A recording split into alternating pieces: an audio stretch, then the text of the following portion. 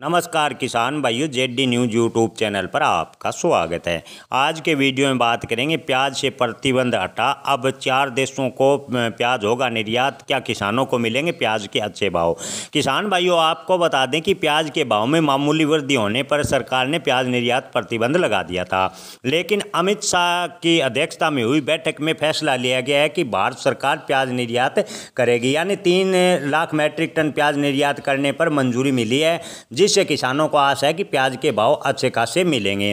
हालाँकि विशेषज्ञों का कहना है कि मार्च के प्रथम सप्ताह से नया प्याज गर्मी वाला प्याज बाज़ार में आने शुरू होगा, जिससे प्याज के भाव में कोई बड़ा उछाल होगा। इसकी संभावनाएँ काफ़ी कम है, हालाँकि भारत सरकार ने प्याज से निर्यात प्रतिबंध हटा दिया है।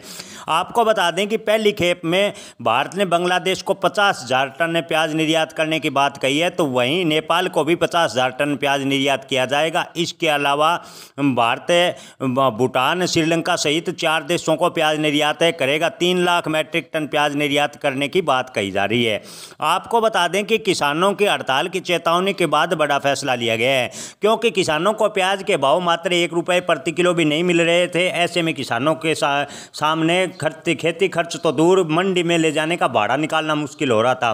किसान लगातार कर्ज के नीचे दबता जा रहा था। ऐसे में कहा जा रहा है कि सरकार ने बड़ा फैसला लिया है। लेकिन किसान भाइयों आपको बता दें कि किसानों का लगभग पीछे सर्दी वाला प्याज का स्टॉक खत्म हो चुका है। अब गर्मी वाला वाला प्याज मंडी में आएगा और प्याज की आवक भरपूर होगी। ऐसे में प्याज के भाव में कोई बड़ा उछाल नहीं होगा, ऐसा विशेषज्ञों का कहना है।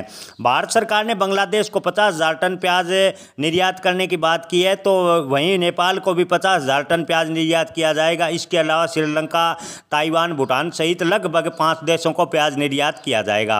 आपको बता दें कि प्याज निर्यात प्रतिबंध हटने से प्याज के भाव में मामूली सुधार हो सकता है। किसान भाइयों, विशेषज्ञों का कहना है कि इन दस या पंद्रह दिनों में प्याज के भाव में सुधार दिखाई देगा। जैसे गर्मी वाला प्याज भरपूर मात्रा में मंडियों में आएगा तो प्याज के भाव में एक बार फिर डाउनफुल देखने को मिल सकता है। यानी गर्मी वाले प्याज की आवक बढ़ते ही प्याज के भाव में डाउनफॉल देखने को मिलेगा। किसान भाइयों, आप इस पर क्या राय रखते हैं? कॉमेंट में अपनी राय ज़रूर बताएँ। धन्यवाद।